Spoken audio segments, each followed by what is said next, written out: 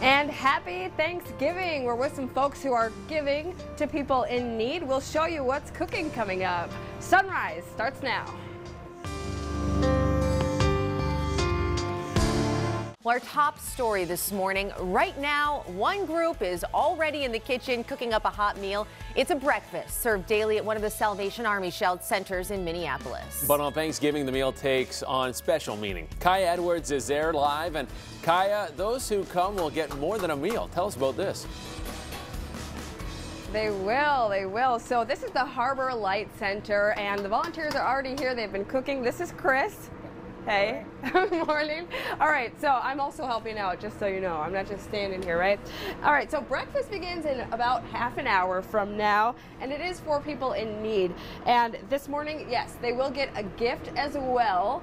Uh, but we're going to show you that a little bit later. We'll show you that coming up at 5.30 this morning. And we'll also hear from the guy who runs this whole operation with his wife. And so that's it for now. We'll send it back to you.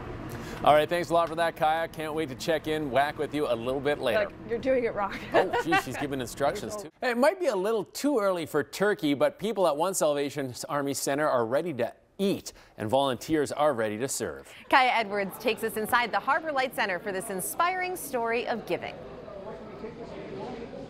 Good morning and happy Thanksgiving. About 15 minutes ago, this breakfast got started, and you can see there are a lot of people here, but I want to bring in Richard Bahr from Threshold to New Life. Good morning. You're you're behind this, you and your wife, right? Yes, ma'am. Yep. okay. Yeah. Give her some credit. Yeah. Yeah, Carla. Carla. Yeah. Hey, Carla. Absolutely. Okay, so this is awesome to see. You know, we're get, you're giving on Thanksgiving, and you know, it just means a lot. I assume. So, can you tell me about what it means to you to be able to help others today, and actually every day? Yeah, every day. So actually, 2.4 Ministries operates this breakfast, and we serve every single day for the last 10 years. So it's all funded by um, by volunteers and by Grace Fellowship Church in Brooklyn Park. Amazing. And we've got over 40 volunteers that work each one day per week. Yeah.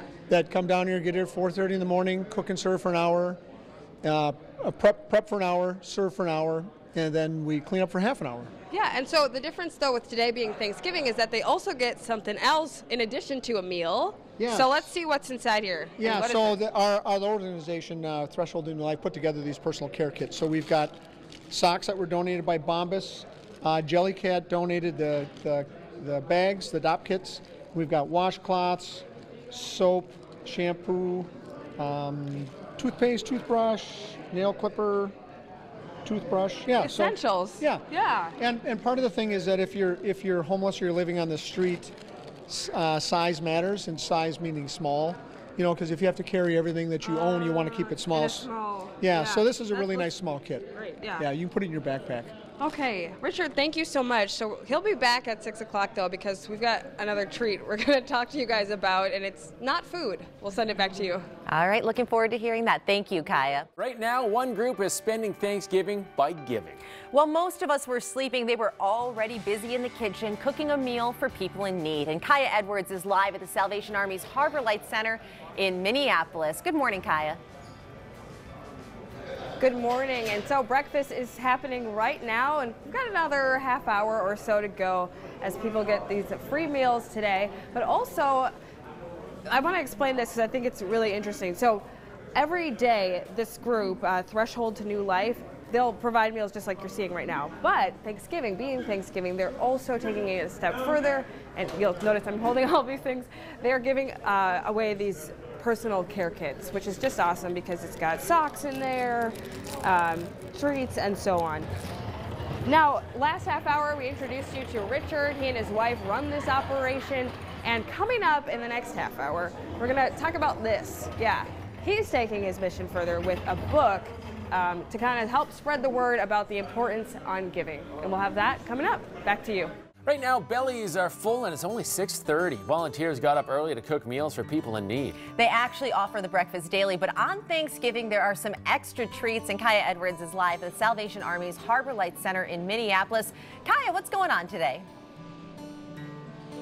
Hey, good morning. So, breakfast just wrapped up a couple of minutes ago. This is Richard Bahr. He makes sure that there's breakfast here every day. Um, today, though, they also had personal care kits that you guys were mm-hmm. giving out. But from my experience, I thought it was it was just really fun. It was fun mm-hmm. to chat with people, and you know, mm-hmm. some of them were cracking jokes, some of the guys were, and I think that's a major message that we have to remember: is these are people. Yeah, and so the book, those people uh, that that I wrote, is based on things that I've learned about people in the homeless community. That it's not always what you think homelessness is, and um, over the period of the last 10 years that I've been serving, I met some really, really remarkable people with some deep, really deep and rich character. And I just wanted a chance to tell their stories and maybe in some way try to help change the paradigm of what people think about the homeless. Okay, we got to wrap up now, but I do have one question for you if you're comfortable sharing. What's your plan for today, Thanksgiving? Uh, I've got a couple of people coming over that uh, that I know from the homeless community that are going to share the meal with us today. And your kids, tell, tell them about the kids. Uh, yeah, the, yeah, the kids are always like, you know, who's dad bringing today year. this year? Yeah, I right, love it. yeah, That's so yeah, awesome. Yeah, So plug the book, thosepeoplebook.org. There you go. Yep. Okay, if you want to get that book and read stories about those people. All right, we'll send it back to you. Happy Thanksgiving.